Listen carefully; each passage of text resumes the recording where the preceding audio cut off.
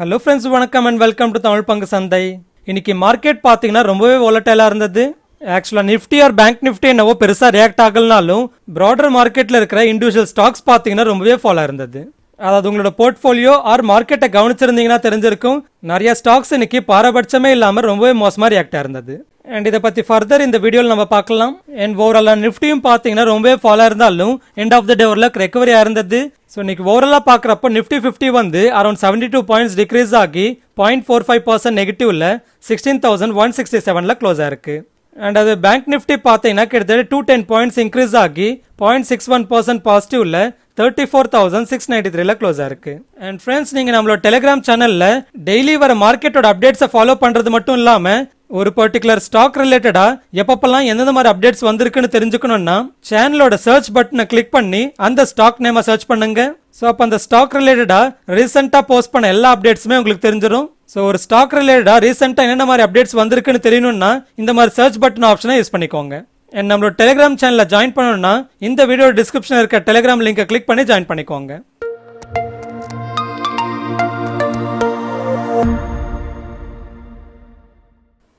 Okay first வந்து மார்க்கெட்டை பற்றி பார்க்குறப்போ நேற்று யூஎஸ் மார்க்கெட்ஸ் எல்லாமே பார்த்தீங்கன்னா ஓரளவுக்கு பாசிட்டிவ் ரியாக்டாக இருந்தது. அண்ட் அப்படி இனிஷியலாக ரொம்பவே பாசிட்டிவ் ரியாக்டாக இருந்தாலும் அதுக்கப்புறமா ஓரளவுக்கு ஃபாலோ ஆகி ஃபைனலாக டவு ஜோன்ஸ் மட்டும் நெகட்டிவாக க்ளோஸ் ஆயிருந்தது ஸோ இன்னைக்கு யூஎஸோட இன்ஃப்ளேஷன் டேட்டா ரிலீஸ் ஆக போகுது. ஸோ இன்ஃப்ளேஷன்றது ரொம்பவே அதிகமாக வந்ததுன்னா அது இன்ட்ரெஸ்ட் ரேட் ஹைக்கை இன்னும் அதிகமாக பண்ணணுன்ற எதிர்பார்ப்பை கிரியேட் பண்ணும். ஸோ இப்படி ஓரளவு மானிட்டரி பாலிசி டைட்னிங் அதிகமாக பண்ணுறது மார்க்கெட்டுக்கு நெகட்டிவான அப்டேட்டாக இருக்கும். அண்ட் அது ஒருவேளை இன்ஃப்ளேஷன் டேட்டா ஓரளவுக்கு கம்மியாகுதுன்னா அது மார்க்கெட்டுக்கு ஓரளவுக்கு பாசிட்டிவாக இருக்கும். அண்ட் பிரெண்ட் குரூல் ப்ரைஸை பொறுத்த வரைக்கும் நேற்றும் பார்த்தீங்கன்னா ஓரளவுக்கு ஃபாலோ இருந்தது. அண்ட் இன்னைக்கு மார்க்கெட் ரொம்பவே ஃபாலோ ஆன பிறகு European market and US futures எல்லாமே பாசிட்டிவாக இருந்தது. அண்ட் அதனால் அங்கிருந்து நம்மளோட மார்க்கெட்டும் ஓரளவுக்கு ரெக்கவரி ஆக ஆரம்பிச்சது. நான் ஆல்ரெடி மென்ஷன் பண்ணது போல இன்னைக்கு நிஃப்டி ஃபிஃப்டியில் பொறுத்த வரைக்கும் பெருசாக ரியாக்ஷன் தெரியலனாலும் ப்ராடர் மார்க்கெட்டில் இருக்கிற இண்டிவிஜுவல் ஸ்டாக்ஸ் பார்த்தீங்கன்னா ரொம்பவே ஃபாலோ ஆக ஆரம்பிச்சது. ஸோ இதனால் நிஃப்டி ஃபிஃப்டி பொறுத்த வரைக்கும் பாயிண்ட் ஃபைவ் பர்சன்ட் தான் ஃபாலோ இருக்கும் ஆனால் போர்ட்ஃபோலியோவில் இருக்கிற இண்டிவிஜுவல் ஸ்டாக்ஸ் பார்த்தீங்கன்னா ரொம்பவே ஃபாலோ இருக்கும் ஸோ அதனால தான் இந்த மாதிரி ஓலட்டிலிட்டி ஆர் கன்சல்டேஷன் ஃபேஸில் mostly Nifty fifty or Nifty hundred ஸ்டாக்ஸில் மட்டும் இன்வால்வ் ஆகிறதுக்கு பாருங்க. ஏன்னா இந்த மாதிரி டைமில் ரொம்பவே ஃபாலோ ஆன பிறகு உங்களோட ஸ்டாக்கோட ரெக்கவரி பார்த்தீங்கன்னா six months or even one year எடுக்கிறதுக்கும் வாய்ப்பு இருக்கும். பொதுவாக ரெக்கவரின்றது நீங்கள் எந்த ப்ரைஸ் லெவலில் இன்வெஸ்ட் பண்ணதை பொறுத்து இருக்கு. அண்ட் எந்த மாதிரி கம்பெனிஸில் இன்வெஸ்ட் பண்ணுறீங்கன்றதை பொறுத்து இருக்கு. ஆனால் லாஸ்ட் டூ இயர்ஸில் மார்க்கெட் ரொம்பவே ரேஸ் ஆனதுனால இந்த டூ தௌசண்ட் டுவெண்ட்டி டூவில் யூஷுவல் விட ரெக்கவரின்றது கொஞ்சம் டிலே ஆகிறதுக்கும் வாய்ப்பு இருக்கும். ஸோ இந்த மாதிரி டைமில் நம்ம என்ன பண்ணணும்னு கேட்டிங்கன்னா நம்ம எப்பவும் சொல்றது போல தான் ஒவ்வொரு லெவல் ஆஃப் ஃபால்ஸில் கொஞ்சம் கொஞ்சமான அமௌண்ட்டை நல்ல கம்பெனிஸில் இன்வெஸ்ட் பண்ணிகிட்டே இருங்க. அண்ட் ஒருவேளை இன்வெஸ்ட் பண்ணுறதுக்கு மணி இல்லைன்னா இப்படி அமைதியாக இருங்க. அண்ட் முக்கியமாக இந்த மாதிரி டைமில் லேர்னிங்க்கு வந்து உங்களோட டைம் அதிகமாக ஸ்பெண்ட் பண்ணுங்க. அதாவது மழை வரத்துக்கு முன்னாடி வயலை தயார்படுத்தி வைங்கன்ற மாதிரி ஆர் ஷார்ப் பண்ணி ஒரு ஆக்ஷன் சொல்கிற மாதிரி இந்த மாதிரி டைமில் அதிகமாக லேர்ன் பண்ணுறதுக்கு ஸ்பெண்ட் பண்ணி கம்பெனிஸை அண்டர்ஸ்டாண்ட் பண்ணிக்கிட்டு நல்ல கம்பெனிஸை பிக் பண்ணி வைங்க. ஓகே அடுத்த நியூஸ் அப்டேட்ஸை பார்க்கலாம். அதானி போர்ட்ஸ் கம்பெனி வந்து இன்னைக்கு ஆக்சுவலாக அவங்களோட ரிசல்ட்ஸ் அனௌன்ஸ் பண்ணணும். ஆனால் அந்த கியூ ஃபோர் ரிசல்ட்ஸ்க்கான போர்ட் மீட்டிங்கை மே டுவெண்ட்டி ஃபோர்த் அன்னைக்கு ரீஷெடியூல் பண்ணியிருக்கிறதா அப்டேட் பண்ணியிருக்காங்க ஓகே அடுத்து ஏஷியன் பெயிண்ட்ஸோட அப்டேட்டை பார்க்கலாம். ஏஷியன் பெயிண்ட்ஸ் வந்து நேற்று அவங்க ரிசல்ட்ஸ் அனௌன்ஸ் பண்ணியிருந்தாங்க. ஸோ அந்த ரிசல்ட்ஸ் பார்க்குறப்போ ஓரளவுக்கு வீக்காக தான் இருந்தது. அண்ட் அதுலையும் ஸ்பெசிஃபிக்காக பார்த்தீங்கன்னா ப்ராஃபிட் ஆஃப்டர் டேக்ஸ் வந்து quarter on quarter compare பண்ணுறப்பவும் and year on year compare பண்ணுறப்பவும் வீக்காக தான் இருந்தது. அண்ட் ரிசல்ட்ஸை பற்றி ஏஷியன் பெயிண்ட்ஸ் என்ன சொல்லியிருக்காங்கன்னு பார்க்குறப்போ ஜான்வரி மந்தில் ஒமிக்ரான்னால வால்யூம் க்ரோத்ன்றது இம்பாக்ட் ஆனதாகவும் ஆனால் பிப்ரவரி அண்ட் மார்ச்சில் வால்யூம் க்ரோத்ன்றது டபுள் டிஜிட்டில் இருந்ததாக சொல்லியிருக்காங்க. And tier three and tier four சிட்டிஸில் ப்ரைஸைக் பண்ணதுனால டவுன் ட்ரேடிங் அதாவது வால்யூம் கம்மியாக இருக்கிறதா சொல்லியிருக்காங்க. அண்ட் இன்னும் few குவார்ட்டர்ஸில் double digit volume growth achieve பண்ணுறதுக்கு கான்ஃபிடண்ட்டாக இருக்கிறதாவும் அண்ட் அதே போல் மார்ஜினை எயிட்டீன் டு டுவெண்ட்டி ஒன் பர்சன்ட்டில் மெயின்டைன் பண்ணுறதுக்கு கான்ஃபிடண்ட்டாக இருக்கிறதாவும் சொல்லியிருக்காங்க. ஸோ இப்படி ஓவரலாக இண்டஸ்ட்ரி வந்து அடுத்தடுத்த குவார்ட்டர்ஸில் நல்லாவே ஸ்ட்ராங்காக இருக்கும்னு எக்ஸ்பெக்ட் பண்ணாலும் இன்ஃப்ளேஷன்ன்றது பார்ட்டி ஸ்பாய்லராக இருக்கிறதுக்கு வாய்ப்பு இருக்கிறதா சொல்லியிருக்காங்க. ஓகே அடுத்து செரா சானிட்ரியோட அப்டேட்டை பார்க்கலாம். நேற்று செரா சானிட்டரி கம்பெனி வந்து அவங்களோட கியூ ஃபோர் ரிசல்ட்ஸ் அனௌன்ஸ் பண்ணியிருந்தாங்க. ரிசல்ட்ஸ் பார்த்தீங்கன்னா கொஞ்சம் மிக்ஸ்டாக தான் இருக்குன்னு சொல்லலாம். ரெவன்யூ வந்து குவார்டர் அண்ட் குவார்டர் கம்பேர் பண்ணுறப்போ ஒரு லக் ஃப்ளாட்டாக இருந்தாலும் இயர் ஆன் இயர் கம்பேர் பண்ணுறப்போ செவன் பர்சன்ட் டிக்ளைன் இருந்தது. ஆனால் ப்ராஃபிட் ஆஃப்டர் டேக்ஸ் எல்லாமே quarter and quarter compare பண்ணுறப்பவும் and year on year compare பண்ணுறப்பவும் நல்லாவே க்ரோ இருந்தது அண்ட் ஈவன் மார்ஜின்ஸும் பார்த்தீங்கன்னா நல்லாவே இம்ப்ரூவ் ஆயிருந்தது. அண்ட் கம்பெனி வந்து அரௌண்ட் ஒன் நைன்டி செவன் க்ரோர்ஸுக்கு கேபெக்ஸ் பிளான் அப்ரூவ் பண்ணிருக்கிறதாவும் சொல்லியிருக்காங்க. அதாவது ஒன் டுவெண்ட்டி எயிட் க்ரோர்ஸ்ன்றது சானிட்டரி வேரோட கிரீன்ஃபீல்ட் எக்ஸ்பேன்ஷனுக்காக அண்ட் சிக்ஸ்டி நைன் க்ரோர்ஸ்ன்றது ஃபாசட் வேரோட ப்ரௌன்ஃபீல்ட் எக்ஸ்பேன்ஷனுக்காகனு சொல்லியிருக்காங்க. அதாவது சானிட்டரி வேர்ன்றது டாய்லெட்ஸ்னு சொல்லலாம் அண்ட் அது ஃபாசட் வேர்ன்றது நம்ம குழாயின்னு சொல்லலாம். அண்ட் அதே போல இங்க கிரீன்ஃபீல்ட் அண்ட் ப்ரௌன்ஃபீல்ட் எக்ஸ்பேன்ஷன் ஒரு வார்த்தை யூஸ் பண்ணியிருப்பாங்க. பொதுவாக க்ரீன்ஃபீல்ட் இன்வெஸ்ட்மெண்ட் ஆர் எக்ஸ்பென்ஷன் என்னதுன்னா ஸ்க்ராட்ச்லேருந்து புதுசாக பில் பில்ட் ஃபெசிலிட்டிக்கு இன்வெஸ்ட் பண்ணுறதுக்கு பேர் தான் வந்து க்ரீன்ஃபீல்ட் இன்வெஸ்ட்மெண்ட்னு சொல்லுவாங்க. அண்ட் அதுவே ஆல்ரெடி எக்ஸிஸ்டிங் ஃபெசிலிட்டியை வாங்குறதுக்கு பேர் வந்து ப்ரௌன்ஃபீல்ட் இன்வெஸ்ட்மெண்ட்னு சொல்லுவாங்க. ஸோ இப்படி சானிட்டரி வேரோட greenfield எக்ஸ்பென்ஷனுக்கு one twenty eight crores invest பண்ண போகிறதாவும் அண்ட் ஃபாசட் வேரோட ப்ரௌன்ஃபீல்ட் எக்ஸ்பென்ஷனுக்கு சிக்ஸ்டி நைன் க்ரோர்ஸ் இன்வெஸ்ட் பண்ண போகிறதா சொல்லியிருக்காங்க. ஸோ சிங்கிள் லொகேஷன் இருக்கிறப்போ ப்ரொடக்ஷன் டிஸ்ரப்ஷனுக்கான ரிஸ்க்கை மிட்டிகேட் பண்ணுறதுக்கு இந்த எக்ஸ்பென்ஷன் பண்ணுறதாவும் அண்ட் ப்ரொடக்ஷன் கெப்பாசிட்டி இன்க்ரீஸ் பண்ணுறதுக்காகவும் இந்த இன்வெஸ்ட்மெண்ட் பண்ணிட்டு இருக்கிறதா சொல்லியிருக்காங்க. அண்ட் எக்ஸிஸ்டிங் கெப்பாசிட்டி யூட்டிலைசேஷன்ன்றது அரௌண்ட் நைன்டி டு ஹண்ட்ரட் பர்சன்ட்ல இருக்கிறதா சொல்லியிருக்காங்க. அண்ட் இந்த எக்ஸ்பென்ஷனோட கெப்பாசிட்டி அடிஷன்ன்றது அடுத்த டூ இயர்ஸ்க்கு எடுக்கும்னு சொல்லியிருக்காங்க. ஸோ அந்த எக்ஸ்பென்ஷனுக்கு அப்புறமா இன்க்ரிமெண்டல் ரெவன்யூ பார்த்தீங்கன்னா அரௌண்ட் த்ரீ ஃபிஃப்டி க்ரோர்ஸ்க்கு மேலேயே வரும்னு சொல்லியிருக்காங்க. அண்ட் இந்த ஃபினான்ஷியல் இயரான டூ தௌசண்ட் டுவெண்ட்டி த்ரீயோட revenue க்ரோத்ன்றது around twenty to twenty five percent இருக்கும்னு எக்ஸ்பெக்ட் பண்ணுறதா சொல்லியிருக்காங்க. இந்த ஓவரால் பாசிட்டிவ் அப்டேட்னால இன்னைக்கு செரா சானிட்டரி வேரோட ஷேர் ப்ரைஸும் பார்த்தீங்கன்னா around four to five percent பாசிட்டிவாகவே ரியாக்டாக இருந்தது. ஓகே அடுத்து கேஸ் டிஸ்ட்ரிபியூஷன் கம்பெனிஸோட அப்டேட்ஸை பார்க்கலாம். நேற்று குஜராத் கேஸும் மகாநகர் கேஸும் அவங்களோட கியூ ஃபோர் ரிசல்ட்ஸ் அனௌன்ஸ் பண்ணியிருந்தாங்க. ஸோ குஜராத் கேஸோட ரிசல்ட்ஸ் பார்த்தீங்கன்னா பாசிட்டிவாகவே இருந்தது. ஆக்சுவலாக எக்ஸ்பெக்ட் பண்ணதை விட மார்ஜின்ன்றது ரொம்பவே இம்பாக்ட் ஆகாமலும் இருந்தது. ஸோ கம்பெனி வந்து ப்ரைஸாக பாஸ் ஆன் பண்ணுறதுல ப்ரொவாக்டிவாகவே இருந்தாங்கன்னு புரிஞ்சுக்கலாம். ஸோ அதனால் எஸ்டிமேட் பண்ணதை விட கேஸோட காஸ்ட் இம்பாக்ட் வந்து கம்மியாக தான் இருந்திருக்கு. ஸோ அது இவங்களோட ப்ராஃபிட்டபிலிட்டியும் இன்க்ரீஸ் பண்ணியிருக்கு அடுத்து ஸ்பாட் எல்என்ஜி ப்ரைஸஸ் கம்மியானாலும் எங்களுக்கு பாசிட்டிவாக இருக்கும். அண்ட் கவர்மெண்ட் வந்து ஏதாவது கிரீன் டேக்ஸ்ன்ற மாதிரி ஏதாவது அப்டேட் கொடுத்தாங்கனாலும் அது இந்த கம்பெனிக்கு பாசிட்டிவாக இருக்கும்.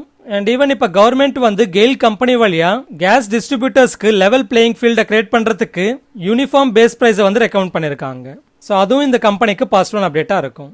அதாவது சிட்டி கேஸ் டிஸ்ட்ரிபியூட்டர்ஸ்ன்ற இந்த மாதிரி கம்பெனிஸ் பார்த்தீங்கன்னா கேஸ் சப்ளைஸை முக்கியமாக வந்து டிரான்ஸ்போர்ட் அண்ட் ஹவுஸ் ஹோல்ஸ்க்கு வந்து சப்ளை பண்ணுறாங்க அண்ட் கவர்மெண்ட் வந்து இந்தியாவோட எனர்ஜி மிக்ஸில் கேஸோட ஷேர் பார்த்தீங்கன்னா டூ தௌசண்ட் தேர்ட்டிக்குள்ள ஃபிஃப்டீன் பர்சன்ட் இன்க்ரீஸ் பண்ணுறதுக்கு டார்கெட் வச்சிருக்காங்க.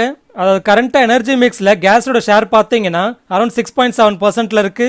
ஸோ அதை டூ தௌசண்ட் தேர்ட்டிக்குள்ள ஃபிஃப்டீன் பர்சன்ட் இன்க்ரீஸ் பண்ணுறதுக்கு எய்ம் பண்ணியிருக்காங்க அண்ட் இந்த மாதிரி கம்பெனிஸ்க்கு கேஸ் வந்து எங்கிருந்து வருதுன்னு பார்த்தீங்கன்னா முக்கியமாக லோக்கலில் இருக்கிற ஆயில் ஃபீல்ட்ஸில் இருந்து சீப்பர் ப்ரைஸில் வருது. அண்ட் அதுக்கப்புறமா பார்த்தீங்கன்னா இம்போர்ட் பண்ணிக்கிறாங்க. ஸோ சில கம்பெனிஸ் பார்த்தீங்கன்னா அதிகமாக இம்போர்ட் பண்ணுறாங்க அண்ட் சில கம்பெனிஸ் வந்து அதிகமாக லோக்கல் ஃபீல்ட்லேருந்து எடுத்துக்கிறாங்க. அண்ட் இதனாலேயே ஒவ்வொரு கம்பெனிஸோட ப்ரைஸ் பார்த்தீங்கன்னா டிஃப்ரெண்ட்டாக இருக்குது அண்ட் இப்போ கவர்மெண்ட் என்ன சொல்லியிருக்காங்கன்னா கெயில் கம்பெனியை இந்தியாவில் இருக்கிற டிஃப்ரெண்ட் ஃபீல்ட்ஸ்ல இருந்து கேஸை வாங்கிக்கிட்டு அண்ட் பத்தலைனா இம்போர்ட்டும் பண்ணிக்கிட்டு கெயில் கம்பெனியை ஒரு கேஸ் பூலிங் மாதிரி கிரியேட் பண்ணி ஒரு யூனிஃபார்ம் பேஸ் ப்ரைஸுக்கு வந்து அந்த ப்ரைஸில் சிட்டி கேஸ் டிஸ்ட்ரிபியூட்டர்ஸுக்கு சப்ளை பண்ண சொல்லியிருக்காங்க அண்ட் ஆக்சுவலாக நான் முன்னாடியே சொன்னது போல் லோக்கல் ஃபீல்ஸ் இருந்து வாங்குற கேஸோட ப்ரைஸ் பார்த்தீங்கன்னா ரொம்பவே கம்மியாக இருக்கும். அண்ட் அதை இம்போர்ட் பண்ணுற கேஸோட ப்ரைஸ் பார்த்தீங்கன்னா கொஞ்சம் அதிகமாக இருக்கும். ஸோ அப்போ இந்த யூனிஃபார்ம் கேஸ் பேஸ் ப்ரைஸ்ன்றது எந்த கம்பெனிஸ் ஆல்ரெடி வந்து அதிகமாக இம்போர்ட் பண்ணுறாங்களோ அவங்களுக்கு இது பெனிஃபிஷியலாக இருக்கும். அண்ட் அதுவே எந்த கம்பெனிஸ் ஆல்ரெடி லோக்கல் ஃபீல்ட்ஸ்லேருந்தே வாங்கிட்டு இருந்தாங்களோ அவங்களுக்கு வந்து இது கொஞ்சம் காஸ்ட்லியாக இருக்கிறதுக்கு வாய்ப்பு இருக்கும். ஸோ அப்படி பார்க்குறப்போ குஜராத் கேஸ் கம்பெனி பார்த்தீங்கன்னா அதிகமாக இம்போர்ட் பண்ணுறாங்க ஸோ அதனால் இந்த அப்டேட்ன்றது குஜராத் கேஸ் கம்பெனிக்கு பாசிட்டிவாக இருக்கிறதுக்கு வாய்ப்பு இருக்குது அண்ட் அதுவே Mahanagar gas Indraprastha gas and அதே போல் அதானி டோட்டல் கேஸ் எல்லாமே அதிகமாக லோக்கல் ஃபீல்டு வாங்கிட்டு இருக்காங்க. ஸோ அவங்களுக்கு இப்போ இந்த கெயிலோட யூனிஃபார்ம் பேஸ் ப்ரைஸ்ன்றது கொஞ்சம் அதிகமாக இருக்கிறதுக்கு வாய்ப்பு இருக்கலாம். ஸோ அப்போ உங்களுக்கு ஓரளவுக்கு இம்பாக்ட் இருக்கிறதுக்கும் வாய்ப்பு இருக்கலாம். ஆனால் ஆக்சுவலாக அந்த யூனிஃபார்ம் பேஸ் ப்ரைஸ்ன்றது லோக்கல் ஃபீல்ட்ஸோட ப்ரைஸை விட எந்த அளவுக்கு அதிகமாக இருக்குது ஆர் கம்மியாக இருக்குன்றத பொறுத்து தான் ஆக்சுவல் இம்பாக்ட்ஸ் எந்தெந்த கம்பெனிக்கு எப்படி இருக்குன்றது நம்மளுக்கு புரியும். ஓகே அடுத்து அரபிந்தோ ஃபார்மாவோட அப்டேட்டை பார்க்கலாம். அரபிந்தோ ஃபார்மாவோட ஹைதராபாத்ல இருக்கிற மேனுஃபேக்சரிங் ஃபெசிலிட்டியை யூஎஸ்எஃப்டியை இன்ஸ்பெக்ட் பண்ணி ஆறு அப்சர்வேஷன்ஸ் கொடுத்துருக்கிறதா அப்டேட் பண்ணியிருக்காங்க. அண்ட் கம்பெனி வந்து யூஎஸ்எஃப்டிஏக்கு கரெக்டான டைம்குள்ளே ரெஸ்பாண்ட் பண்ண போகிறதாவும் அண்ட் ரைஸ் பண்ண கன்சர்ன்ஸை அட்ரஸ் பண்ண போகிறதாவும் சொல்லியிருக்காங்க. ஓரளவு அவங்களோட மேனுஃபேக்சரிங் ஃபெசிலிட்டியில் யூஎஸ்எஃப்டியோட சிக்ஸ் அப்சர்வேஷன்ஸோட அப்டேட்க்கு அப்புறமா இன்னைக்கு Aurobindo ஃபார்மாவோட share price around three percent மேலே ஃபாலோ இருக்கு ஓகே அடுத்து வோடஃபோன் ஐடியாவோட அப்டேட்டை பார்க்கலாம். நேற்று வோடஃபோன் ஐடியா கம்பெனி வந்து அவங்களோட கியூ ஃபோர் ரிசல்ட்ஸ் அனௌன்ஸ் பண்ணியிருந்தாங்க. அண்ட் அவங்களோட ரிசல்ட்ஸ் பார்த்தீங்கன்னா ஓவராலாக வீக்காக இருந்தாலும் quarter on quarter compare பண்ணுறப்பவும் and year on year compare பண்ணுறப்பவும் ஓரளவுக்கு இம்ப்ரூவ் ஆயிருக்கு. அதாவது ரெவன்யூ பார்த்தீங்கன்னா ஓரளவுக்கு இம்ப்ரூவ் ஆயிருக்கு என் மார்ஜின்ஸும் ஓரளவுக்கு இம்ப்ரூவ் ஆயிருக்கு நெட் லாஸும் வந்து முன்னாடி ரிப்போர்ட் பண்ணதை விட கொஞ்சம் கம்மியாக இருக்கு. அதாவது கம்பெனி வந்து நவம்பர் மந்தில் பண்ண ப்ரீபெய்ட் டேரிஃப் ஹைக்னால அவங்களோட ஆர்பு இன்க்ரீஸ் ஆயிருக்கு அதாவது average revenue per user increase ஆயிருக்கு அதாவது போன குவார்ட்டரில் ஆர்பு வந்து ஒன் ஃபிஃப்டீன் ருபீஸாக இருந்திருக்கு. இந்த குவார்ட்டரில் ஆவரேஜ் ரெவன்யூ பர் யூசர்ன்றது ஒன் டுவெண்ட்டி ஃபோர் ருபீஸ்க்கு இன்க்ரீஸ் ஆயிருக்கு ஸோ இப்படி ஆர்பு இன்க்ரீஸ் ஆனதுனால அவங்களோட இந்த கியூ ஃபோர் ரெவன்யூ இன்க்ரீஸ் ஆயிருக்கு ஆனால் கம்பெனி இன்னும் ஃபினான்ஷியலாக ரொம்பவே வீக்கான பொசிஷனில் இருக்குது ஸோ அடுத்து ஃபண்ட் ரேசிங் எப்போ பண்ணுறாங்கன்றதை நம்ம முக்கியமாக கவனிக்கணும். ஆல்ரெடி ப்ரமோட்டர்ஸ் வந்து கொஞ்சம் ஃபண்ட் இன்ஃபியூஸ் பண்ணியிருக்காங்க ஸோ அது சென்டிமெண்டலாக பாசிட்டிவாக இருந்தாலும் கம்பெனி அவங்களோட மார்க்கெட் ஷேரை லூஸ் பண்ணாமல் இருக்கிறதுக்கும் அண்ட் ஃபினான்ஷியலாக ஒரு லக் வித் ஸ்டாண்ட் பண்ணுறதுக்கும் இன்னும் அதிகமான ஃபண்ட் ரைசிங் பண்ணி ஆகணும் ஏன்னா நியர் டேர்மில் ஃபைவ் ஜியோட ரோல் அவுட்டும் இருக்குது ஸோ அதுக்கான இன்வெஸ்ட்மெண்ட்டும் அவங்க ஃபண்ட் ரைசிங் வழியாக கொண்டு வந்தால் மட்டும்தான் அவங்களோட மார்க்கெட் ஷேர் லூஸ் ஆகிறத ஓரளவுக்காவது தடுக்க முடியும். ஓவரால் இன்னைக்கு வோடஃபோன் ஏடியாவோட ஷேர் ப்ரைஸ் வந்து around point five seven percent நெகட்டிவாக க்ளோஸ் ஆயிருக்கு. ஓகே அடுத்து அலம்பிக் ஃபார்மாவோட அப்டேட்டை பார்க்கலாம். அலம்பிக் ஃபார்மா கம்பெனிக்கு பிராங்கோ கான்ஸ்ட்ரக்ஷன்ன்ற மூச்சு குழாய் சுருக்கத்தை ட்ரீட் பண்ணுறதுக்கான ட்ரக்குக்கு ஃபைனல் அப்ரூவல் வந்திருக்கிறதா அப்டேட் பண்ணியிருக்காங்க இன்ஹேல் பண்ணுற மாதிரி டைப்பில் இருக்கிற இந்த ட்ரக்கோட மார்க்கெட் சைஸ் பார்த்தீங்கன்னா யூஎஸோட லாஸ்ட் டுவெல் மந்த்ஸோட டேட்டா படி பார்க்குறப்போ around two fifty one million டாலர்ஸாக இருக்கு. ஓவரால் இந்த அப்டேட்க்கு அப்புறமா இன்னைக்கு அலம்பிக் ஃபார்மோட ஷேர் ப்ரைஸ் வந்து ஓரளவுக்கு பாசிட்டிவாக ரியாக்ட் இருந்தது. ஓகே அடுத்து கான்சாய் நெரோலாக் பெயிண்ட்ஸோட அப்டேட்டை பார்க்கலாம். கான்சாய் நெரோலாக் பெயிண்ட்ஸ் கம்பெனி வந்து நேற்று அவங்களோட கியூ ஃபோர் ரிசல்ட்ஸ் அனௌன்ஸ் பண்ணியிருந்தாங்க. ஸோ அவங்களோட ஓவரால் ரிசல்ட்ஸ் பார்த்தீங்கன்னா வீக்காக இருந்தது. அதாவது ரெவன்யூ வந்து இயர் ஆன் இயர் கம்பேர் பண்ணுறப்போ அரௌண்ட் ஃபைவ் பர்சன்ட் க்ரோ இருந்தது. ஆனால் எபிட்டா மார்ஜின் பார்த்தீங்கன்னா ரொம்பவே டிக்ளைன் ஆயிருந்தது அதாவது ஃபோர்டீன் பாயிண்ட் சிக்ஸ் டூ பர்சன்ட்லேருந்து இந்த குவார்ட்டரில் five point four six percent குறைஞ்சிருக்கு. அண்ட் அதே போல் நெட் ப்ராஃபிட்டும் பார்த்தீங்கன்னா கிட்டத்தட்ட எயிட்டி பர்சன்ட் ஃபாலாக இருந்தது. என் கம்பெனி வந்து ப்ரைஸ் ஹைக்க பண்ணியிருந்தாலும் ஓவரால் ஆட்டோமொபைல் இண்டஸ்ட்ரியோட ஸ்லோ டவுன் வந்து இவங்களோட ரிசல்ட்ஸ் வீக்காக வந்ததுக்கான முக்கியமான காரணமாக சொல்லலாம். அண்ட் ஈவன் க்ரூட் ஆயிலோட volatility வந்து இவங்களோட மார்ஜின்ஸை ரொம்பவே இம்பாக்ட் பண்ணியிருக்குன்னு புரிஞ்சுக்கலாம். ஓவரால் இந்த அப்டேட்னால இன்னைக்கு கான்சாய் நெரோலாக் பெயின்ஸோட ஷேர் பிரைஸ் வந்து around four point four eight percent நெகட்டிவாக க்ளோஸ் ஆயிருக்கு. ஓகே அடுத்து ஜென்சார் டெக்னாலஜிஸோட அப்டேட்டை பார்க்கலாம். ஜென்சார் டெக்னாலஜிஸ் கம்பெனியும் நேற்று அவங்களோட கியூ ஃபோர் ரிசல்ட்ஸ் அனௌன்ஸ் பண்ணியிருந்தாங்க. ஸோ ரிசல்ட்ஸும் பார்த்தீங்கன்னா நல்லாவே பாசிட்டிவாக இருந்தது. அண்ட் அதனால இன்னைக்கு அதோட ஷேர் ப்ரைஸும் நல்லாவே பாசிட்டிவாக ரியாக்டாக இருந்தது. அடுத்து இன்னைக்கு பாலாஜி அமைன்ஸ் அவங்களோட கியூ ஃபோர் ரிசல்ட்ஸ் அனௌன்ஸ் பண்ணியிருந்தாங்க. ஸோ அவங்களோட ரிசல்ட்ஸும் பார்த்தீங்கன்னா பாசிட்டிவாகவே இருந்தது. அதாவது ரெவன்யூ வந்து இயர் ஆன் இயர் கம்பேர் பண்ணுறப்போ எயிட்டி எயிட் பர்சன்ட் க்ரோ இருந்தது. அண்ட் அது ப்ராஃபிட் பார்த்தீங்கன்னா இயர் ஆன் இயர் கம்பேர் பண்ணுறப்போ twenty eight point seven percent grow இருந்தது. ஆனால் மார்ஜின்ஸ் மட்டும் தேர்ட்டி ஒன் பாயிண்ட் ஒன் பர்சன்ட்ல இருந்து twenty five point three percent குறைஞ்சிருக்கு. ஆனால் ஓவரால் ரெவன்யூ ரொம்பவே இன்க்ரீஸ் ஆனதுனால ப்ராஃபிட்டும் நல்லாவே இன்க்ரீஸ் ஆயிருக்கு. அண்ட் இந்த அப்டேட்க்கு அப்புறமா பாலாஜி அமைன்ஸோட ஷேர் ப்ரைஸ் வந்து around six point eight three percent பாசிட்டிவாக க்ளோஸ் ஆயிருக்கு.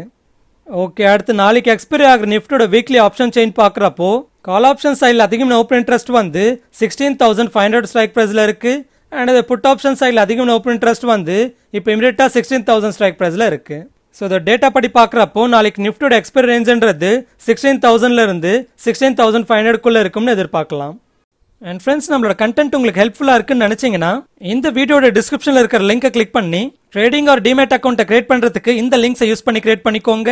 நீங்கள் லைஃப் இன்சூரன்ஸ் ஆர் இன்கம் பிளான்ஸை வாங்கணும்னா இந்த லிங்கை கிளிக் பண்ணி கூகுள் ஃபார்மை ஃபில் பண்ணுங்க. And even free financial planning consultancy வேணுனாலும் இந்த லிங்கை கிளிக் பண்ணி ஃபார்மை ஃபில் பண்ணுங்க. அண்ட் இங்க இருக்கிற வேற எந்த அக்கௌண்ட்ஸை கிரியேட் பண்ணாலும் இங்க இருக்கிற லிங்க்ஸை யூஸ் பண்ணியே கிரியேட் பண்ணிக்கோங்க. அண்ட் ஃபைனலாக டெலிகிராம் இன்ஸ்டாகிராம்னு நம்மளோட அஃபிஷியல் சேனல்ஸில் கனெக்ட் ஆகணும்னா இங்க இருக்கிற லிங்க்ஸை யூஸ் பண்ணி கனெக்ட் பண்ணிக்கோங்க. யூடியூப் கமெண்ட்ல யாராவது நம்பர் கொடுத்து கால் பண்ண சொன்னா கால் பண்ணாதீங்க. யூடியூபோட கமெண்ட்டை பொறுத்த வரைக்கும் அந்தந்த சேனலோட பேர் வந்து கிரே கலர்ல இருக்கும். அப்படி இருந்தா மட்டும்தான் அது ஒரிஜினல் ஐடின்னு புரிஞ்சுக்கோங்க. அண்ட் எந்த யூடியூப் சேனலோட கம்யூனிகேட் பண்ணாலும் அந்தந்த சேனலோட official email ID or contact number வழியா கம்யூனிகேட் பண்றீங்களான்றதை என்ஷூர் பண்ணிக்கோங்க.